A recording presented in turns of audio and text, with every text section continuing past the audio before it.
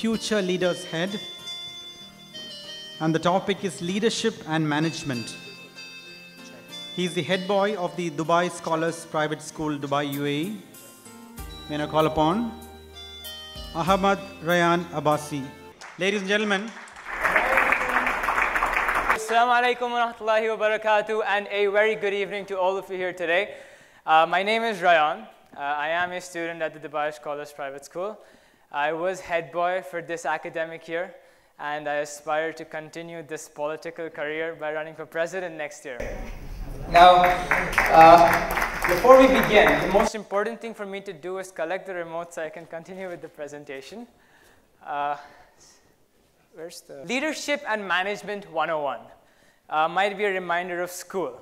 And the main reason why I chose this topic uh, was the fact that fundamentals are really important. And I think so that was highlighted in the first presentation when Dr. Rashid sir mentioned that all these great companies, Toys R Us, you know, they didn't fail because of a lack of leadership, a lack of capital, but rather it was because they didn't have that fundamental belief in them that helped them to move forward. So the main purpose of this presentation is to look at ideals and concepts related to a successful student administration, or in other words, the student council of my school, uh, to apply them to a corporate atmosphere. Now many of you might be wondering exactly how is that possible? How can you apply strategies used by 15, 16, 17 year, old, year olds in a corporate atmosphere? Well, my belief is that we all are humans at the end of the day. And yes, maybe the adaptation of each strategy depends on the age you are applying it to, but the needs, the fundamental needs that we all have are the same. So the topics or the ideas that I'm going to discuss with you guys are something that I sincerely hope uh, you will be able to uh, comprehend with me. In fact, I will be giving examples from my school and I will need you guys to do something in Arabic. It's called qiyas or analogy, where you check it out and you try to see how is it applicable to your situation. Finally, why is this important, all of this? Well, guys, I'm not sure if you guys know, but in the coming decade, my generation is going to be working with you guys. Um, this is a picture of my school, but before that, I have a small request. May I request all of you to please stand up? Thank you very much.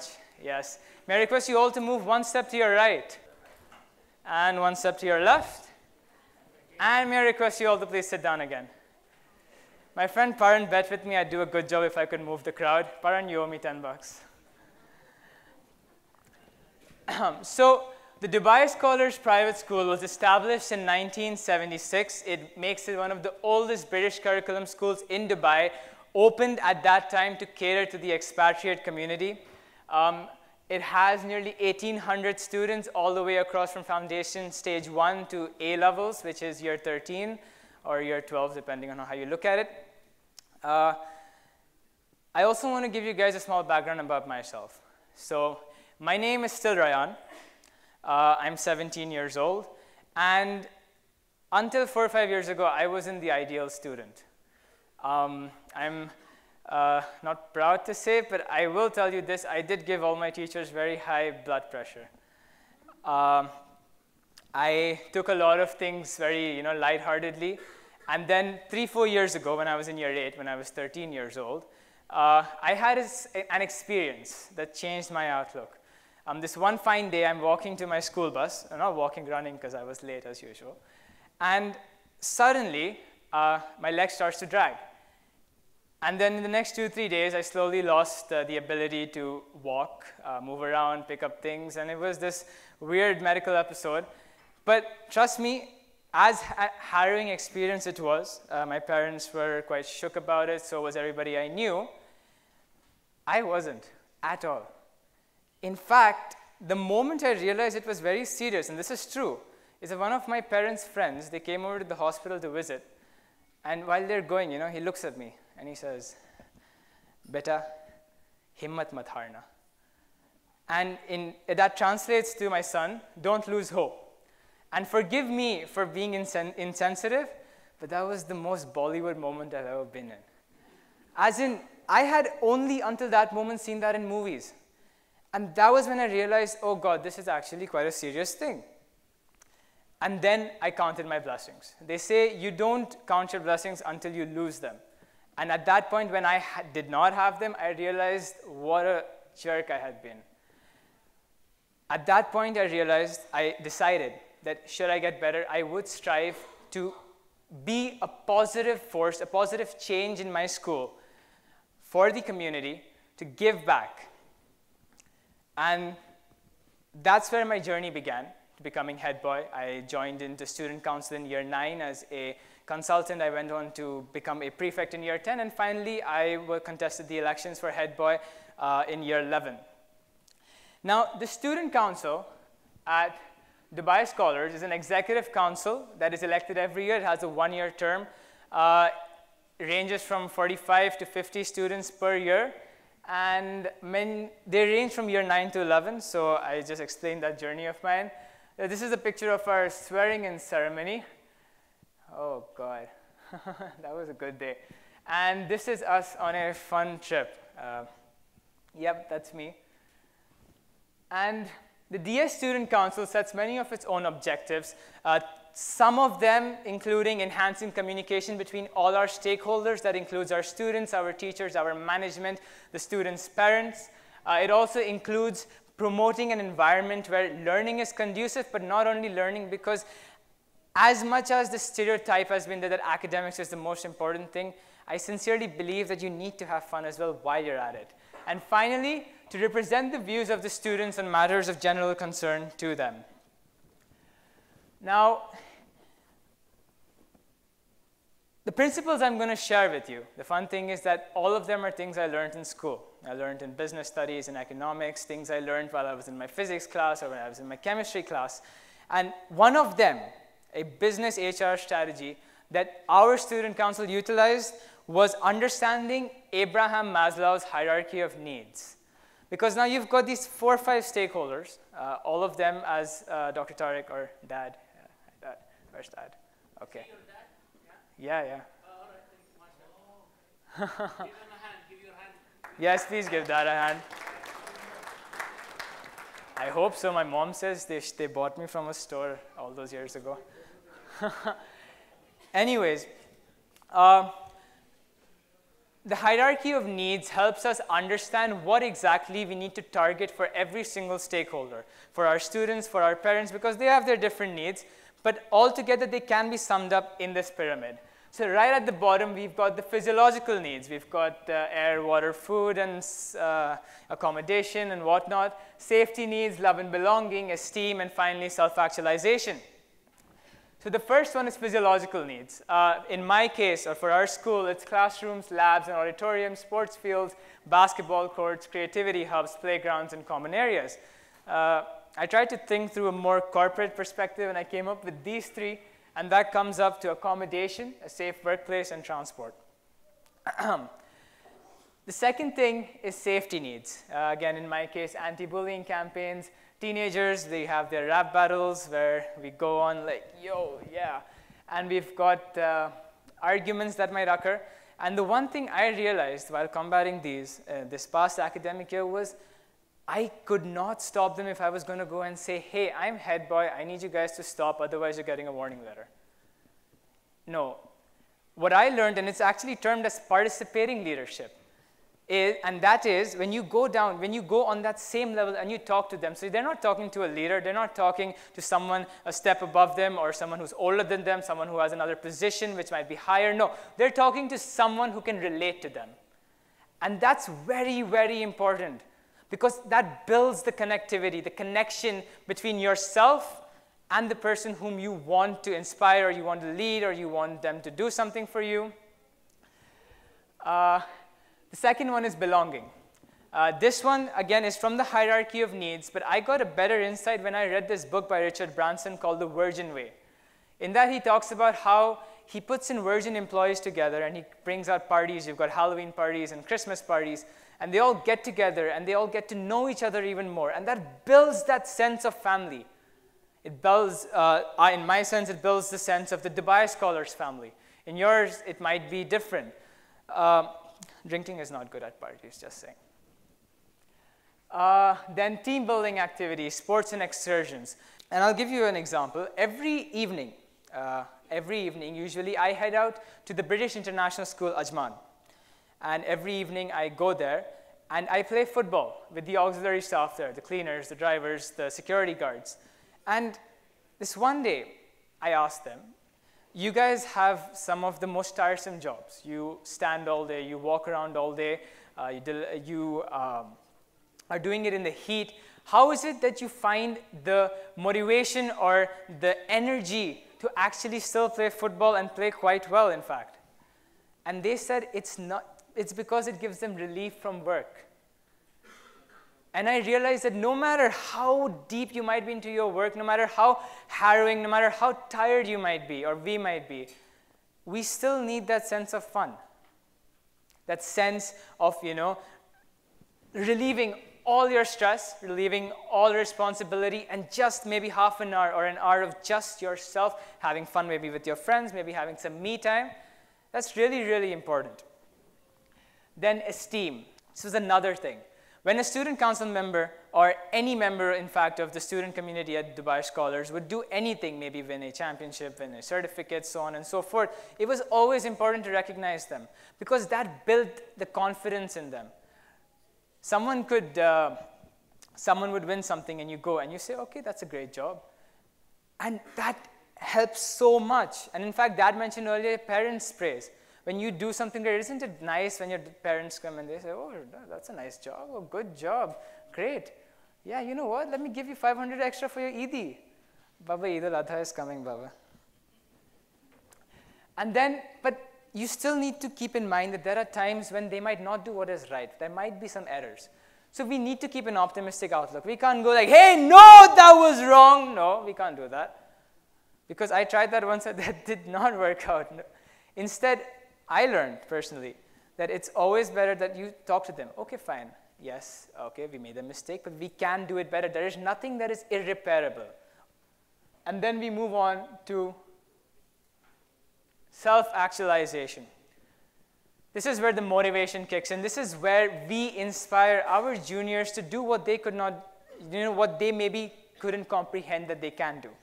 My favorite way of doing it with, my, with our students is through MUNs. How many of you all know what MUNs are? All right, fantastic. Uh, MUNs, for your information, are Model United Nations. It's where teenagers and college students, they don the roles of actual UN uh, committees. You take over countries, you become delegates, and you tackle real-world problems. Um, some of some committee sessions can be really interesting. One time I was in Security Council and Russia declared war on the entire Security Council. That was a fun experience. So the best way, of course, is to lead by example. And I read this story once, and my suggestion is to not follow that thing. And the thing is, and the story is that one day this boss, you know, he goes to his office, he's bought a new Lamborghini, and he drives, and he goes, mmm, and he stops, and he comes out, and one of his employees is outside, and he says, sir, that's a really beautiful car. And then his boss looks at him with wisdom in his eyes, and he says, my dear boy, I want you to work so hard. I want you to work so hard this year that next year I'm able to buy a second Lamborghini.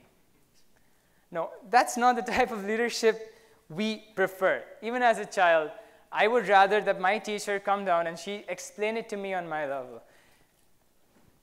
The best way, of course, is to lead by example. And then the final point is to share stories of personal failures and successes. I've always seen them work. Uh, the story I told you about myself going from uh, a light-hearted person to a person more serious about what they're doing is one of the stories I share with the student council. And it truly motivates them because you're not talking about, yes, I did this. Rather, we're talking about, yes, I could not do that, but you can. Then another series of indicators are Herzberg's motivating factors. Uh, we've covered most uh, similar topics in the hierarchy of needs, but there are two I want to touch upon. The first one is responsibility. Delegation of responsibility puts a burden on the junior person, no doubt, but it also teaches them to be able to act, makes them feel more trusted. Again, the sense of belonging comes in, the esteem increases, the motivation increases, the productivity of the student or the person increases, which in turn, of course, is great for your school or for your company or uh, whatever. And it leads to a person being more comfortable with their surroundings, which is, of course, of the utmost importance. So, one thing that I always continuously hear mental peace is, has no price. Then, challenge to provide a platform or a scenario where people can prove themselves, uh, giving back realistic yet optimistic feedback, thus helping them increase their capital, their human capital. An increase in human capital, of course, in turn leads to a betterment in your function of, uh, in my case, it was the student council. And maybe sometimes they're not able to go up to the challenge. Sometimes we're not able to perform successfully. But that doesn't mean we can't give them a second or a third chance. For instance, for us, we have 1,800 kids. And when His Highness Sheikh Hamdan, the Crown Prince of Dubai, started the Dubai Fitness Challenge initiative, for that month, 30 days straight, every morning, we brought 1,500 kids into the field. We made them exercise for half an hour, and we sent them back. And that was the utmost challenge for our student council.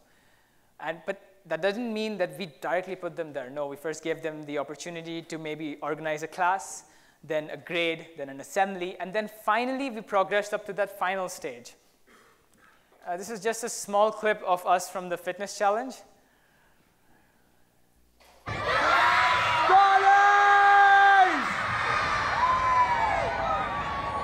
Right, thank you everyone, thank you.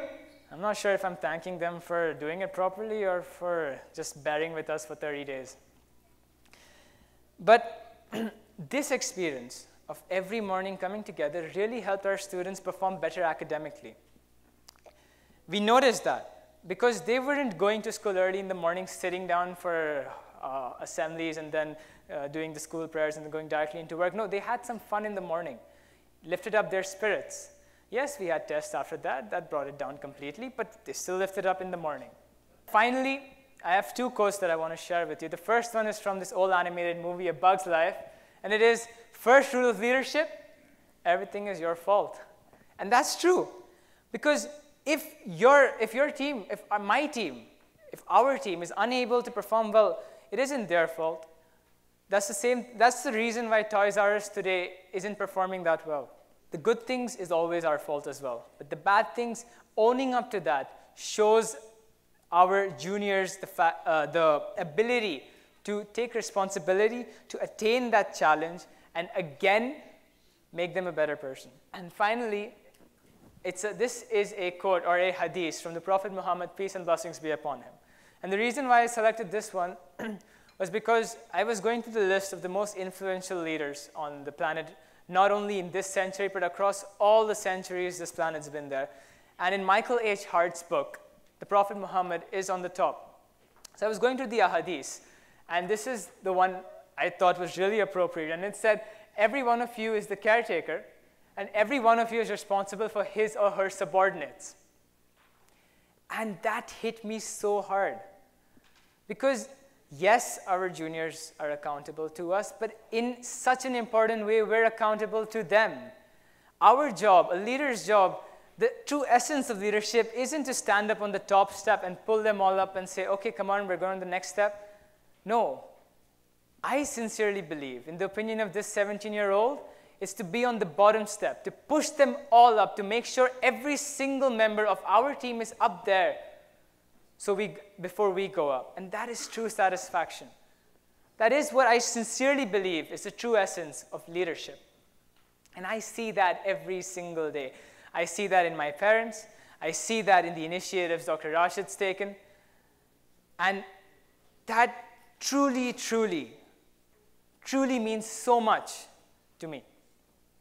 So think if to a 17 year old or a teenager who's not even 18 yet, these small principles can mean so much and can cause such a big change in his life. Why could it not in yours? So, with that, ladies and gentlemen, I want to thank you all for giving me the time, your time. Thank you so much, and I sincerely hope that this. Thank you very much.